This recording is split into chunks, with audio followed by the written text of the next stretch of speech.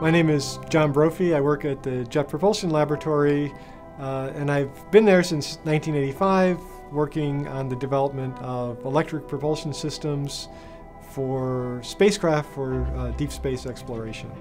So ion propulsion is a way of using a plasma to create charged particles, and then you extract those charged particles through an electric field and accelerate them out of the thruster at a very high speed. And by extracting those ions out of the plasma, it pushes the spacecraft in the other direction. A plasma driven ion thruster tends to be the most fuel efficient rocket engine uh, ever developed. So Wernher von Braun said in 1947 that he wouldn't be surprised if we flew humans to Mars using electric propulsion. That was in 1947. Now, the current technology uh, of choice for sending humans to Mars, whenever we get around to doing that, is what's called a SEP-CHEM hybrid. So this is a hybrid propulsion system that's mostly solar electric propulsion with a little bit of chemical propulsion. And if you do that, that turns out to be the most efficient way to get to Mars. So you can get to Mars with trip times that are about the same as going with all chemical propulsion, but with the enormous mass savings that you get with electric propulsion. Some of the missions that solar electric propulsion has already been used for, uh, from a NASA standpoint, the first one was uh, called Deep Space One, and that was a demonstration of this technology.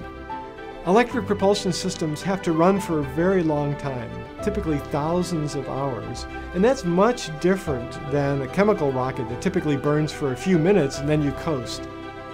NASA then selected the Dawn mission. Dawn was a about a half a billion dollar mission to rendezvous with the two largest main belt asteroids. So one is the giant asteroid called Vesta, and the other is a dwarf planet called Ceres. The ion propulsion system on the Dawn spacecraft has now operated for a little over 50,000 hours and has provided a spacecraft velocity change of over 11 kilometers per second. That's more velocity change for the spacecraft than the launch vehicle put into the spacecraft to get the mission started. The future is bright for not just gridded ion thrusters, but for the type of thrusters that came originally developed in the Soviet Union, the Hall thrusters, a whole variety of uh, electric propulsion types. And the reason the future is bright is because we said earlier, space is big, it's really hard to get around, and so you need a variety of advanced propulsion capabilities. It's almost certain that humanity will move out into the solar system.